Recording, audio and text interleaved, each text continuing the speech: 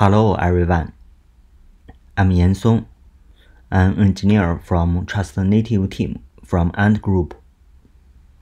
I focused on cloud native container image and also a Rust developer. Today I will introduce my topic toward next generation container image.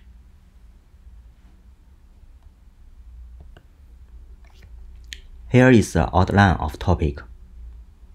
First, I will introduce the current state of container image, and then talk about OCI image drawbacks and the community discussion about improvement of container image. Finally, I will introduce the open source project, Nydus Image Service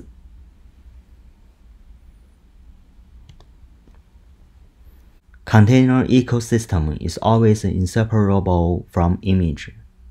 For example, Docker is composed of container and image. Container is fast, lightweight. There is certain isolation for comp there is certain isolation for application running environment. While image provide immutable data source. In, uh, in more detail, container image is a lightweight, standalone executable package of software. It contains all data needed to run the container application, such as code, runtime, system tools, system library, and runtime configuration.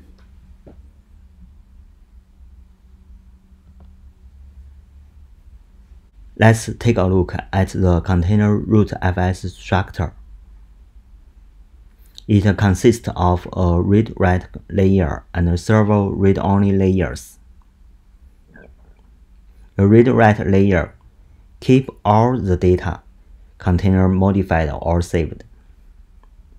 The read-only layers are the immutable part of the container image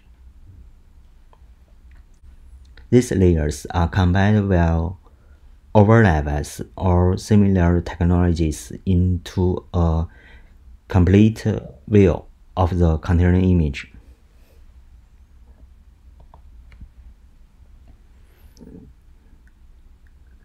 When it comes to container image, we have to talk about OCI community. OCI community aims to standardize all kinds of container related technologies so that the implementation of vendors in container area can be compatible with each other. OCI defines container runtime, image format, image distribution spec. Here, we are mainly talking about image spec which describe a format of OCI container image. The runtime spec specifies the configuration, ex execution runtime, and the life cycle of an of a and the life cycle of a container. The image spec describes OCI container image format. The distribution spec defines an API protocol to facilitate distribution of all images.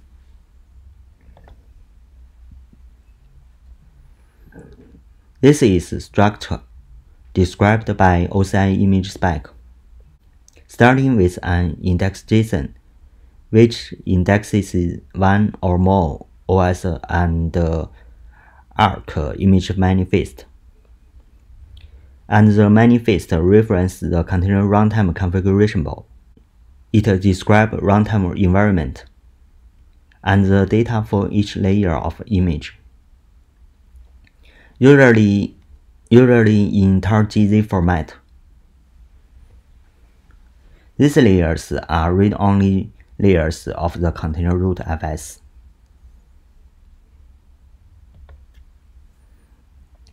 Next, Let's take a look at uh, drawbacks of OCI image structure. First, before creating container, the image must be completely put and uh, unzipped into the file system. But in fact, container application in runtime will only use a small part of image data. And report says only about 7% of image data will be used. But the container must wait until the entire image pulled down before creating. In addition, the duplication at image layer level is less efficient. For example, the file metadata changes will lead the entire file data be saved again to the new layer. And if file changed many times, container will only use the latest data. The history version will be pulled down too. In addition, um, the deleted file will also be pulled, which wastes unnecessary storage and network bandwidth.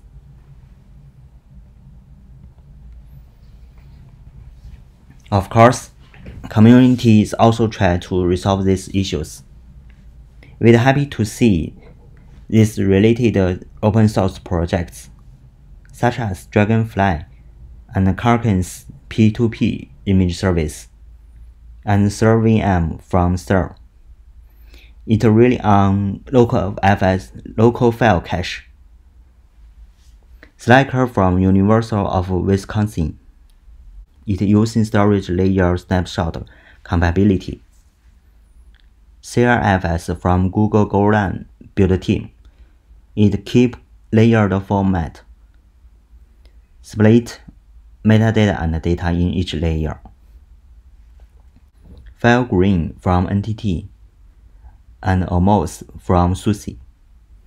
This break, this break uh, layered format separate image metadata and data.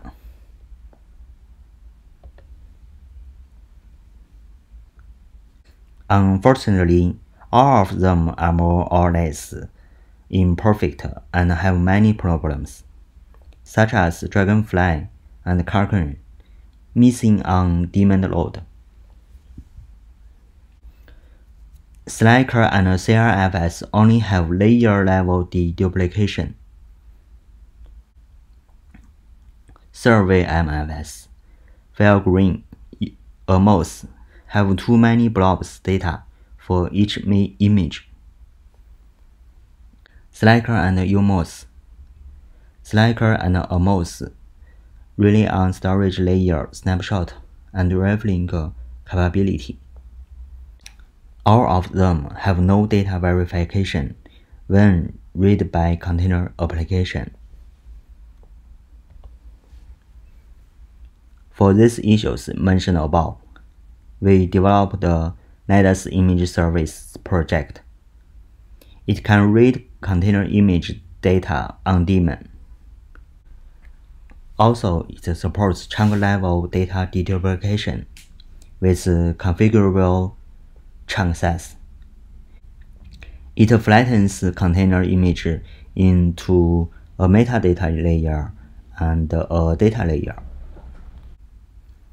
removing all intermediate layers. It also supports end-to-end -end image data integrity. Last but not least, it's compatible with, uh, with the OCI artifacts spec and the distribution spec, so it can easily integrate into the existing containers ecosystem. This is the architecture of Nydus. It is user space daemon.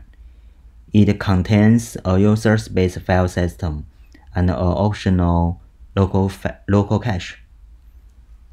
Through the Fuse and virtio-fs protocol. It supports running both runc and Kata containers.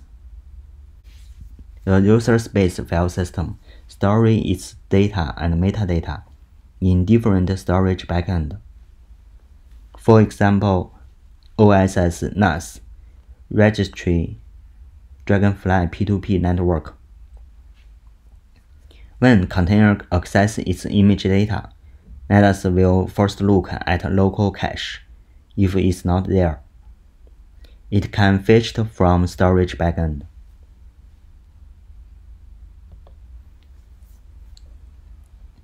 A Nydus image is divided into two parts, a metadata layer and a data layer. The metadata layer was split into chunks. The metadata layer provides file system inode information about uh, entire images, directory file, symbol link, and hard link. The metadata records the location index of file data chunks stored in remote storage backend. In addition, a Merkle tree, also known as a hash tree, is constructed in the metadata. It stores all hash of file data at the leaf nodes, and then calculate hash of directory based on all hash of leaf nodes. So we can easily to check the entire file tree from bottom to top like blockchain.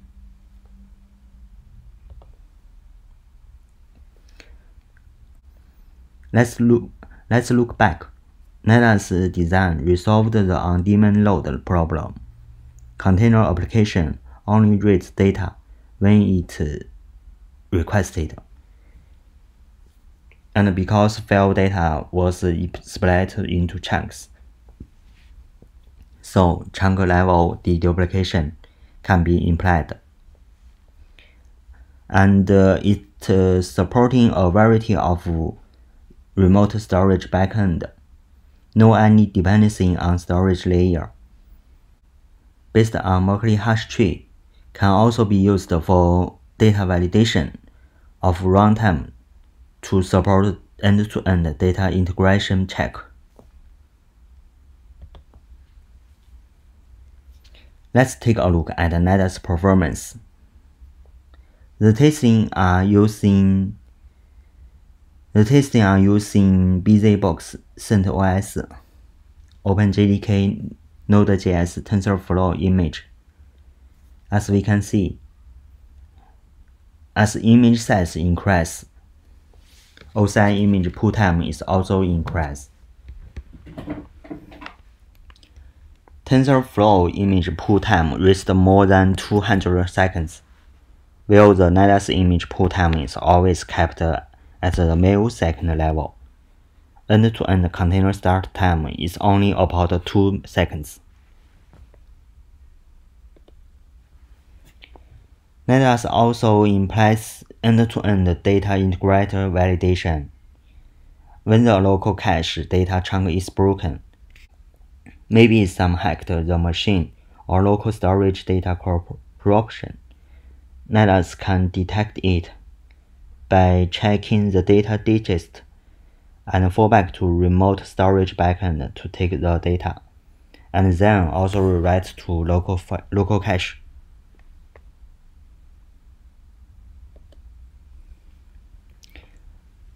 Let's review some community projects via Nydus. Nydus has a lot to offer in terms of on-demand load, better data deduplication level, reproducibility, runtime data integrity, runtime data integrity validation, more less more less storage layer dependency, and more. In future, Nydus will support more data compression algorithm, scalable chunk size, and the deduplication level at image build time.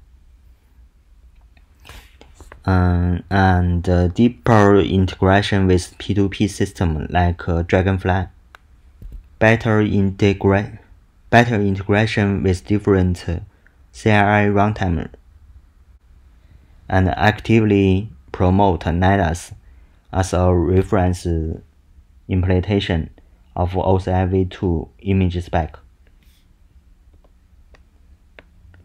That's all for my introduction we have open sourced we have open sourced Nydus on GitHub as a sub as a sub project of Dragonfly. Here is the link and welcome any contributions. There will be Q&A session during the summit. Feel free to drop by. My colleague and I will be there to answer any questions you may have. Thanks.